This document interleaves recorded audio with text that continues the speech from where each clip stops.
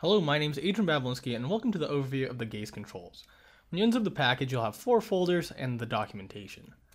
In the demos folder, you'll have the demo scene, and that's what I'm looking at right now. When I hit play, the system comes to life, and we can interact with the system a little bit.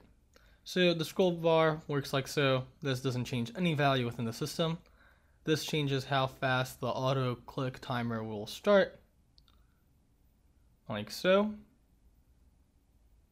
Works with buttons and drop downs.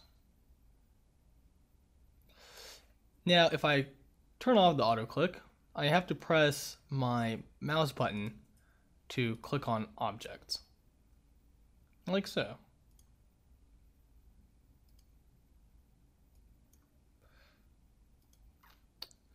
The classic cursor, if I check that, then I have the crosshair over at all times. If I uncheck that, it only happens when GUI is around.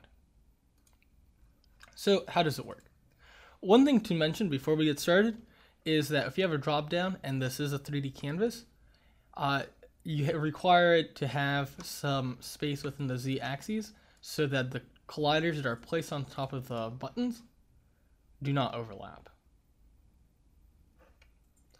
So let's start on a new scene. So I have a prefab here called Canvas. This is just the basic 3D canvas. If I hit play, you'll realize that nothing happens. And to get it to work, we'll go to Game Objects UI event system. And that'll give us the option to also click on the buttons like so. And so on.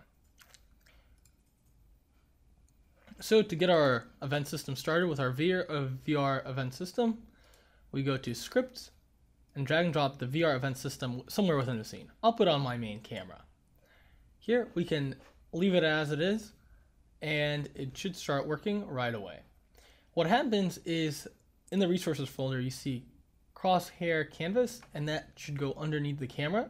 And you can grab it and put it right here. Uh, but you don't have to. Uh, the system will spawn it automatically if you have not done that. So if I hit play, you'll see that everything spawns and we're in business.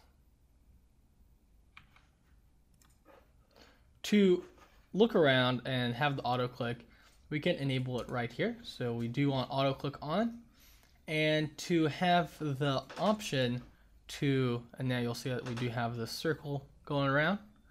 And now I have, I can see, still see my cursor, so I can do both. Uh, to be able to go around the menu, for the demo purposes, we can drag and drop the generic simple mouth, simple, a simple smooth mouse look script and that'll give us the ability to look around. And that is how you set up the gaze control system.